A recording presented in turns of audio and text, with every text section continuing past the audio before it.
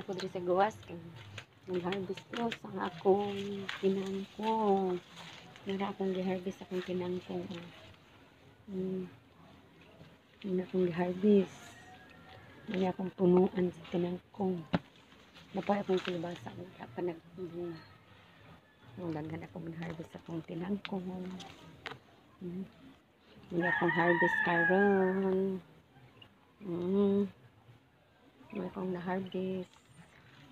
Nalagay mo na pagkugtam na nagtinangkong. Aba, tapos gid ka ng bigidan ito sa lawas labay ako gikuha ng gibutan nga yuta para magamit. Dito sa karsada paglabay nila. Sagbot kaya akong gikuha para malimpyo dito. Yun na akong tanong.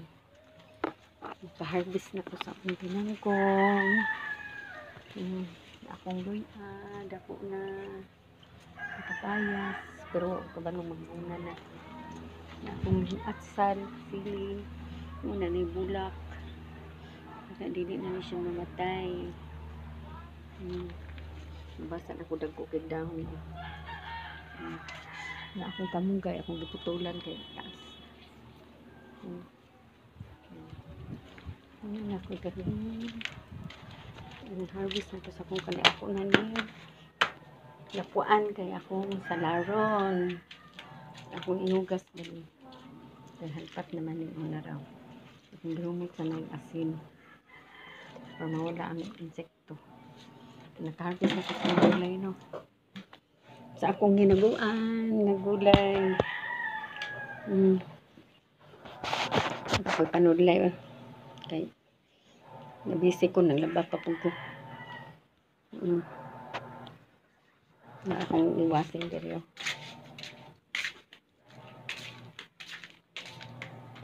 Nga pa ko nahuman. Wala pa ko ilubong ng ako panahuman kay kadwaon ako. Isa pa oh. Wa pa na oh. Hindi pag tuyok. Dalam kay ko. Ang Daghan pa kay kog limpyo nun. Daghan kay kakalat. Daghang kalat. Ako rin isa manglimpyo. Akong tanong kung dala na ko sa akong kumaon na buhi na. Akong gitanong.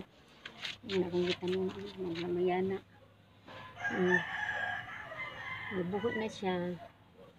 Di da day pwede ni bubuan kada adlaw. Kay namatay kanang ganda ibulad day sa init. Ang dagko ning mayana pila man kakasi. Daghan ni siya. Kani sa tahago akong gidala. Ihatag ni sa pagmangkon sa akong uh, anak ni sa mga gagaw balik pagmangkon ako. Daghan kay siya gihatag. Mm.